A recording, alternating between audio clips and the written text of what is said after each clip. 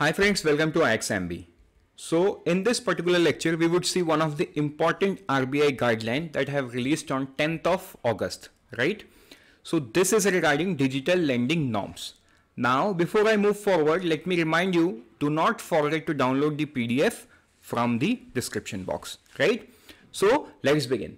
शुरू करने से पहले हम ये समझते हैं कि ये न्यूज आखिरकार है क्या सो so, न्यूज़ कुछ इस प्रकार है RBI announces recommendation of working group on digital lending ठीक है? तो ये एक वर्किंग ग्रुप आरबीआई ने कभी फॉर्म किया था जो कि हम यू you नो know, आगे स्लाइड्स में देखेंगे ऑन डिजिटल लैंडिंग तो डिजिटल लैंडिंग से हमको क्या समझ में आता है?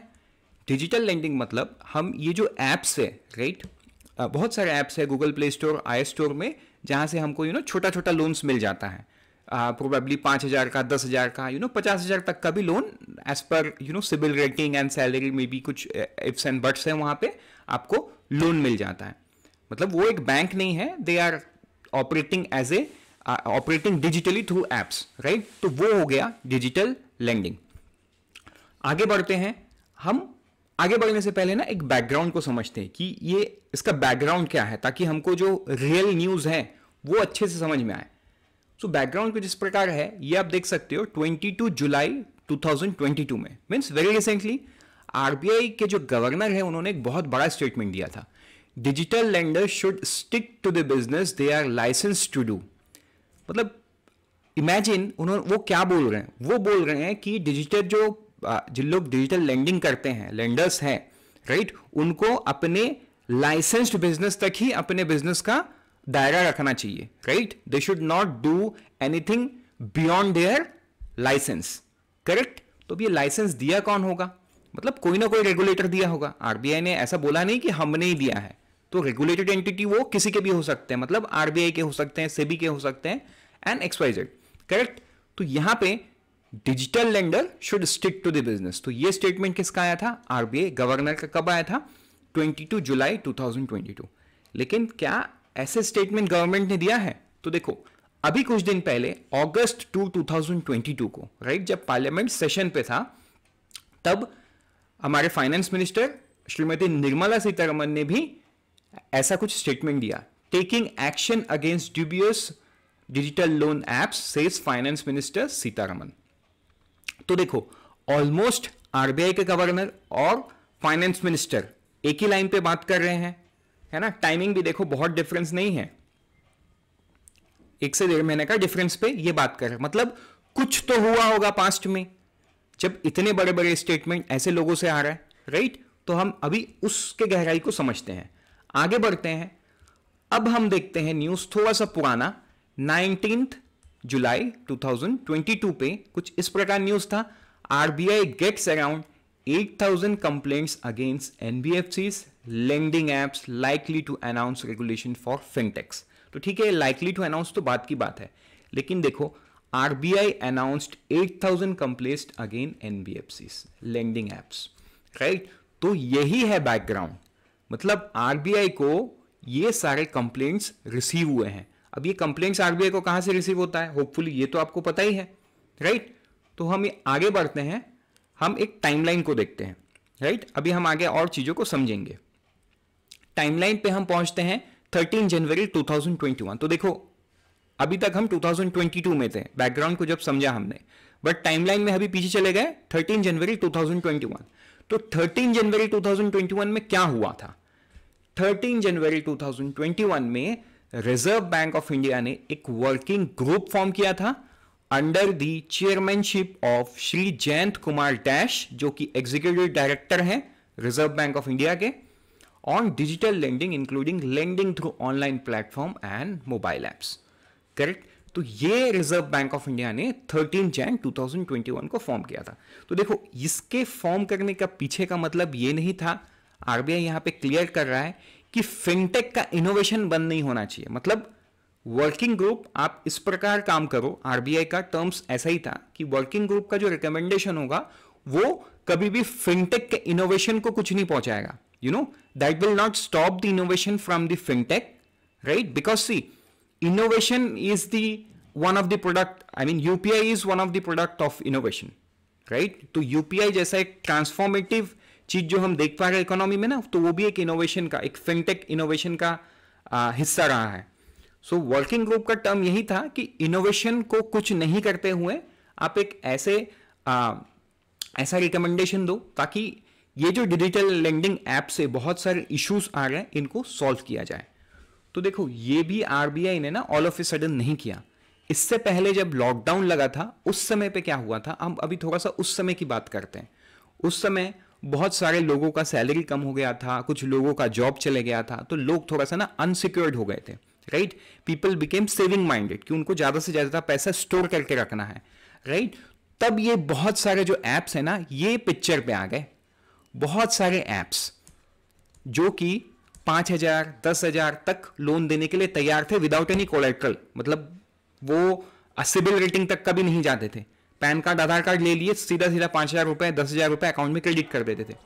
तो ऑब्वियसली जब ऐसा होता था कुछ लोग है ही ऐसे इकोनॉमी में, है ना, जो इस, इसका गलत फ़ायदा उठाएँगे।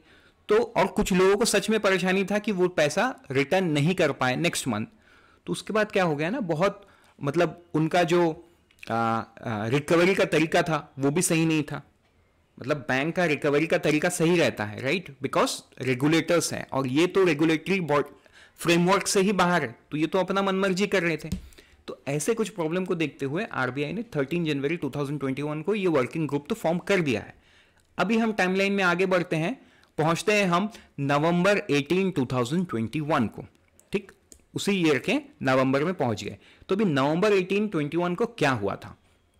तो देखो, नवंबर 18 को ऐसा हुआ था कि वही सेम वर्किंग ग्रुप अपना जो रिपोर्ट है वो आरबीआई को दे दिया था। एंड आरबीआई उसको पब्लिक कमेंट्स के लिए अपने वेब पेज में अपलोड कर दी थी राइट सो आरबीआई के पास उसके बाद लोगों को, लोगों के कमेंट्स के लिए थर्टी फ़र्स्ट दिसंबर 2021 तक का समय था और लोगों ने कमेंट किया। लेकिन इस बीच कुछ न्यूज़ इस प्रकार आया, इस रिपोर्ट के थ्रू जो you know that is very not good for the economy right so news ऐसा था कि टोटल वर्किंग ग्रुप ने ऐसा देखा कि टोटल प्ले स्टोर पे एंड आईओ स्टोर पे you know okay this is only for Indian Android users across 80 application 80 plus application stores somewhere around 1100 application है राइट जो कि loan instant loan quick loan जैसे कीवर्ड्स पे काम करते हैं मतलब कहीं ना कहीं लोन प्रोवाइडर्स ही है। उसमें से 600 more than 50% of them are illegal illegal का मतलब क्या है? कि they are not under the framework of a regulation by any regulatory body correct तो देखो, ये आपको यहाँ पे क्लियर हो जाना चाहिए राइट तो वर्किंग ग्रुप से आउटकम जो है ना, वो इस प्रकार आया है। अच्छा मैं डीएलए के फुल फॉर्म यहाँ बता दूँ। DLA means digital lending apps right तो टोटल 1100 डीएलएस मिला वर्किंग ग्रुप को। उसमें से मोर देन 50 परसेंट जो 600 है अराउंड 600 वो इलीगल मिला करेक्ट अभी हम टाइमलाइन पे थोड़ा सा और आगे बढ़ते हैं। अच्छा आगे बढ़ने से पहले पिछले स्लाइड में कुछ अधूरा था, उसको मैं बता दूँ कि आरबीआई कंप्लेन कैसे रिसीव करता है। तो देखो आरबीआई के पास एक साचेट पोर्टल है राइट वो पोर्टल के थ्रू कंप्लेन्स रिसीव करता है। तो कंप्लेन में अगर आप देखोगे तो around 2562 complaints from January 2022 March 2021 RBI ने रिसीव किया है right and this are the top states among them now you see I think you are understanding the quantum right the depth of the problem कि problem सिर्फ़ एक जगह पे नहीं है कि ये लोग इलीगल है।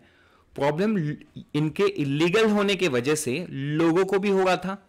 जिस वजह से लोग जो आरबीआई का सचेट प्लेटफॉर्म है, उसको यूज़ करते हुए लोगों ने इतने सारे कंप्लेन की है करेक्ट एंड वर्किंग ग्रुप का भी फाइंडिंग ऐसे है कि 600 एप्स तो इलीगल है। वो कोई रेगुलेटरी पीवी में आते ही नहीं है। अब हम बढ़ते हैं टाइमलाइन में आगे अगस्त 10 2022 मींस यस्टरडे राइट तो अभी अगस्त 10 2022 में क्या हुआ है? Recommendation of the working group on digital lending implementation तो वो जो वर्किंग ग्रुप का रिकमेंडेशन था आरबीआई उसको इंप्लीमेंटेशन में ला रहा है करेक्ट तो अभी उस, वो वर्किंग ग्रुप का रिकमेंडेशन के हिसाब से डिजिटल लैंडर्स को तीन ग्रुप में क्लासिफाई किया गया है. It is classified into three different groups number one is entities that are regulated by RBI मतलब इनको सीधा सीधा हम बोलेंगे R Es regulated entities right मतलब ये आरबीआई के रेगुलेटरी प्रिव्यू में आते हैं। दूसरा हो गया authorise but not regulated by RBI मतलब दूसरे कुछ ऐसे ऐप्स है जो मतलब ऐसे कैटेगरी बनाया गया कि दूसरे कुछ ऐसे ऐप्स है जो ऑथराइज्ड है बट वो आरबीआई के रेगुलेटेड प्रिव्यू में नहीं आते। मतलब देखो ऑथराइज है मतलब उसको किसी ना किसी दूसरे रेगुलेटर या गवर्नमेंट से उसको परमिशन मिला है राइट right? तो उसको हम इलीगल बोल नहीं सकते। सो so, वो हो गया categorisation number two categorisation number three में कुछ ऐसा बोला गया है कि ना वो ऑथराइज्ड है ना वो आरबीआई से रेगुलेटेड है। मतलब ये कैटेगरी थ्री हो गया कंप्लीटली इलीगल वालों का। ठीक है?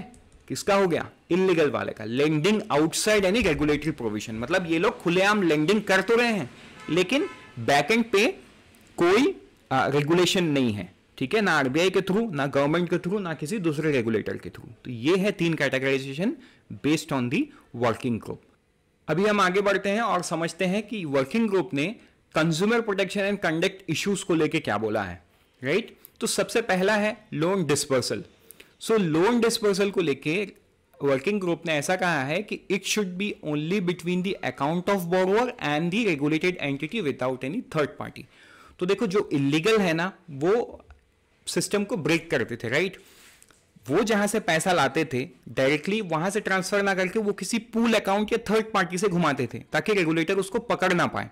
करेक्ट तो वो बहुत सारे उनके ट्रिक्स हैं, उन, वो तो समझ के हमको कोई फ़ायदा है नहीं। बट हमको यहाँ समझना है कि वर्किंग ग्रुप ये बोले हैं कि for example you know I am taking loan right I am taking loan and I am taking a loan from the app called x correct and this is the regulated entity अब ये तो illegal नहीं रहा ना. After the implementation of this working group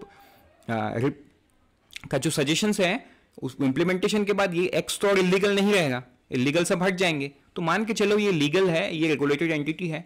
तो मैं जो पैसा उधार लूँगा ना, इससे डायरेक्टली इनके बैंक अकाउंट से मेरे बैंक अकाउंट में आएगा और मैं जब पैसा रिटर्न करूँगा तो मेरे बैंक अकाउंट से इनके बैंक अकाउंट में आएगा। मींस ना कोई पूल अकाउंट इन्वॉल्व है बीच में बीच में ना कोई थर्ड पार्टी इन्वॉल्व है। करेक्ट तो आई होप ये लाइन आपको क्लियर हो गया है। आगे बढ़ते हैं, हम फ़ीस में समझते हैं। ठीक है? Directly by the regulated entity and not by the borrowers मतलब जो भी फ़ीस है, वो रेगुलेटेड एंटिटी ही देगा। जो भी रेगुलेटरी फ़ीस या कोई भी फ़ीस उनको वसूलना है तो वो this will be borne by the regulated entity not by the borrowers दूसरा आ जाता है की फैक्ट स्टेटमेंट तो ये बात यहाँ पे समझने का है, एक नया चीज़ आया है की फैक्ट स्टेटमेंट ये क्या होगा? एक कॉन्ट्रैक्ट मतलब मेरे और ये ऐप के बीच में जो कॉन्ट्रैक्ट लेंडिंग का होगा ना, वो एग्जीक्यूट होने से पहले मेरे को ये जो ऐप चलाता है एक्स ये लोग मुझे देंगे फैक्ट शीट जिसपे सारा कुछ लिखा हुआ रहेगा। Must to borrower before executing contract disclosure of all inclusive cost of digital loan in form of annual percentage rate मतलब मेरे को ये साल भर में कितना फ़ीस चार्ज करेंगे? कितना उसमें यू you नो know, अगर मैं प्री मेच्योर क्लोज करता हूँ उसको आ, तो मुझे कितना पेनल्टी लगेगा? ये सारा डिटेल्स जो है ना की फैक्ट स्टेटमेंट को उनको उनको देना मैंडेटरी रहेगा। Along with annual percentage rate मतलब साल भर में वो मुझे कितना परसेंटेज चार्ज करेंगे एज एन इंटरेस्ट और एज ए कमीशन वो फैक्ट शीट में लिखा हुआ रहेगा and this is must right इसको इग्नोर नहीं कर सकते। Next point is that no automatic increase of credit limit right without my approval the entity can not increase my credit limit irrespective of how good is my you know, ratings and all different things. उसके बाद एक cooling off और lookup period right मतलब एक cooling of period रहेगा। उसके बाद अगर मैं चाहूँ तो मैं कॉन्ट्रैक्ट को क्लोज कर सकता हूँ by paying principal and proportionate APR means annual percentage rate जो भी मेरा प्रिंसिपल बचा हुआ है वो मुझे पे करना पड़ेगा। प्लस मैं जितने दिन के बाद उसको क्लोज कर रहा हूँ लेक से मैं सिक्स मंथ्स के बाद क्लोज कर रहा हूँ। तो मेरे को अगर बारह परसेंट इंटरेस्ट देना पड़ रहा था तो अभी मेरे को छह परसेंट इंटरेस्ट देना पड़ेगा। So that's why proportionate APR without any penalty correct अब आगे बढ़ते हैं। Grievance redressal officer must for LSP LSP is lending service provider okay lending service provider तो इफ़ कंप्लेन मतलब जो भी कंप्लेन मैं करूँगा इनको, जो भी प्रॉब्लम्स होंगे, उनको रेगुलेटेड एंटिटी को 30 डेज़ के अंदर सॉल्व करना होगा। अगर ये 30 डेज़ के अंदर सॉल्व नहीं कर पाए तो I can go to RBI integrated ombudsman scheme scheme के थ्रू मैं इनके अगेंस्ट में कंप्लेन कर सकता हूँ। सो आई होप ये आपको क्लियर हो गया है। अभी हम आगे चलते हैं, देखते हैं कि टेक्नोलॉजी एंड डेटा रिक्वायरमेंट के अगेंस्ट में वर्किंग ग्रुप का क्या रिकमेंडेशन रहा है और क्या इंप्लीमेंट होगा right data collected by the digital lending app should be need based मतलब यू नो एक्सप्लिसिटली वो कुछ भी डेटा कलेक्ट नहीं कर सकते। Right right? वो नीड बेसिस होगा। फॉर एग्ज़ाम्पल देखो, इसको हम समझते हैं। जब आप किसी ऐप को डाउनलोड करते हो ना, आप ट्राई करना लेक्चर के बाद अगर आपको नहीं कनेक्ट कर पा रहे हो तो तो आप देखना, आपका जो ऐप है ना, कोई भी ऐप कुछ कुछ परमिशन माँगता है। Allow permission for location allow permission for camera allow permission for call call book है ना? ये बहुत सारे अब उनके पास कोई ना कोई रीजन होता है ये परमिशन मांगने का, ताकि वो बेटर सर्विस प्रोवाइड कर पाए। तो ऐसा बोल रहा है कि डेटा कलेक्टेड बाय डीएलएस मतलब वो तुमसे जो डेटा कलेक्ट करेंगे, चाहे आधार कार्ड के फॉर्म में हो, पैन कार्ड के फॉर्म में हो, या तुम जब उनके ऐप को इंस्टॉल करोगे, वो ऐप के थ्रू तुम्हारे फ़ोन से डेटा ले सकते हैं, तुम्हारा फ़ोन बुक का कॉन्टैक्ट ले सकते हैं राइट तो it should be need need basis मतलब अगर उनको ज़रूरत है तो ही वो लेंगे, उससे बाहर जाके वो डेटा नहीं लेंगे और नहीं मांगेंगे। This is what the recommendation of this working group next point is that option may be provided for borrowers to accept or deny consent for the use of specific data means यहाँ पे control पूरा मेरे पास है borrower के पास है where he or she can accept or deny the consent of the use of specific data right आगे बढ़ते हम देखते हैं अभी रेगुलेटरी फ्रेमवर्क को लेके क्या बोला गया है सो रेगुलेटरी फ्रेमवर्क के अगेंस्ट में ये बोला गया है कि any lending source through DLA मतलब digital lending apps either of the RE और of the LSP engage by the RE ठीक है is required to be reported to the credit information companies by the regulated entities irrespective of its nature और tenure मतलब कोई भी landing right right? वो चाहे directly RBI का regulated entity हो या आरबीआई के प्रीव्यू के बाहर जो लोग लेंडिंग सर्विस प्रोवाइडर हैं ऑथराइज्ड राइट वो भी जब वो लेंडिंग का काम करते हैं तो उनको चाहे वो लोन कितना छोटा दे या कितना भी बड़ा दे, उनको क्रेडिट इंफॉर्मेशन कंपनीज़ को ये इंफॉर्मेशन देना ही होगा। They there has to be a system where they can report all the information regarding to the borrowing and lending activities to the credit information companies, correct? Next point is that a new digital lending product extended by the REs, regulated entities, over merchant platform involving short-term credit or deferred payment are required to be reported to CICs by the RE.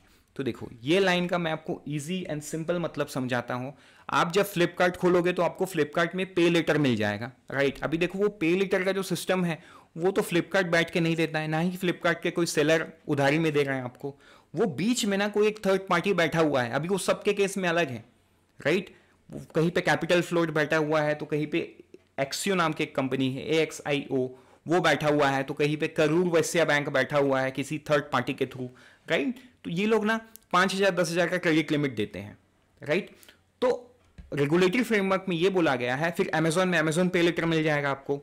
ठीक है even आजकल make माई trip में भी आने लग गया है where they are giving and again that is through I think capital float तो मतलब जो लैंडिंग एप्स नहीं भी है for example Flipkart Amazon Make My Trip देखो, ये लैंडिंग एप्स नहीं है, ये अलग अलग एप्स है बट ये लोग कहीं ना कहीं आपको क्रेडिट भी दे दे रहे हैं मतलब वो लैंडिंग वाला काम भी इनसे हो जा रहा है राइट right? तो ये लाइन उनके लिए है a new digital lending product extended by the REs over merchant platform ये मर्चेंट प्लेटफॉर्म्स होंगे example like Flipkart Amazon Make My Trip involving short term credit तो वो क्रेडिट ना एक महीने का होता है।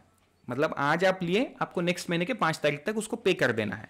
अब वो आधा पे करो, पूरा पे करो पार्शियल पे कर सकते हो, उसको EMI में कन्वर्ट कर सकते हो, ये कंप्लीटली ना depends from customer to customer कि कस्टमर का रेटिंग सिबिल रेटिंग कैसा है, उस पर डिपेंड करता है तो उस पर हम बात नहीं करेंगे। Involving short-term or deferred payment are required to be reported by CICs by the IRE. Correct? मतलब क्रेडिट इंफॉर्मेशन कंपनीज़ को यह बात भी आपको बतानी पड़ेगी। किसको बतानी पड़ेगी? रेगुलेटेड एंटिटीज को बतानी पड़ेगी। आई होप ये चीज़ आपको पूरा क्लियर हो गया है। जो आरबीआई का सांचेट पोर्टल है, वो आरबीआई ने कब लॉन्च किया था?